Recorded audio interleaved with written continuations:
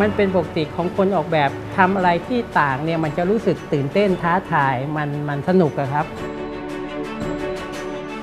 ผมไม่เคยถูกล่าม แล้วก็ไม่ได้อยู่กับกำแพงนะครับ เราอยู่กับบ้านนอก เราอยู่กับสเปซเราอยู่กับอากาศ เราอยู่กับบรรยากาศที่เป็นธรรมชาติ เราอยู่กับอิสระที่เราใช้ความคิดได้เสมอเลย เราให้ความสำคัญกับธรรมชาติ นั้นเราอยากจะให้ธรรมชาติเนี่ย เข้าไปอยู่ในพื้นที่ของเออบ้านถ้ำอยากจะทำอะไรซึ่งซึ่งมันง่าย ๆ แล้วก็ใช้ประโยชน์จากตัวธรรมชาติที่มีถ้ำแห่งเนี้ยเป็นถ้ำที่ผู้ที่มาอยู่อาศัยมาปฏิบัติธรรมเนี่ยได้มีความสะดวกสบายที่เรียบง่าย อิสรภาพนะครับแล้วก็เรื่องของการที่เราจะหลุดพ้นจากความทุกข์เราตีโจทย์ตรงเนี้ยก็เป็นสิ่งที่น่าสนใจ ทำยังไงให้เข้าไปแล้วรู้สึกถึงความว่าง มี space ที่เกื้อหนุนแล้วก็เสริมสร้างในเรื่องของ concept ของความว่างเปล่า แล้วก็ไม่ยึดติดกับตัวตนอะไรเงี้ยครับ อยากจะให้รู้สึกว่ามันเข้าไปในพื้นที่ที่เนี้ยแล้วรู้สึกว่าจริง ๆ แล้วอะตัวเราอะคือแค่ตัวเราอะโดยที่เราจะเห็นเปลือกอะมันหุ้มมันหุ้มเป็นกรอบล้อมล้อมอยู่อะไรเงี้ยครับ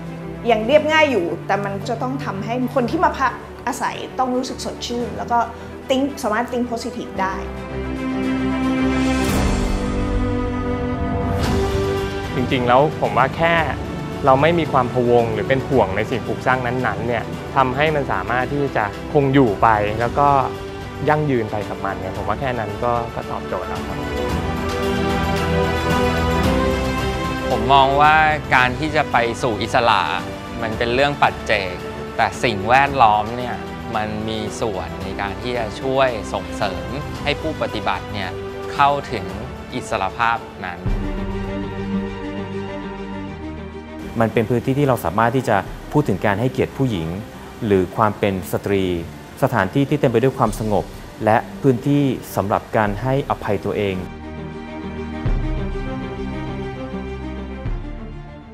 ก่อนที่เราจะออกแบบอะไรได้เนี่ยมันมีความกลัวอยู่ในตัวเอง จึงต้องปลดล็อก ความกลัวนี้ออกไปก่อน ปล่อยให้หัวใจเราเนี่ยมีจิตที่อิสระภาพ เข้าใจความรู้สึก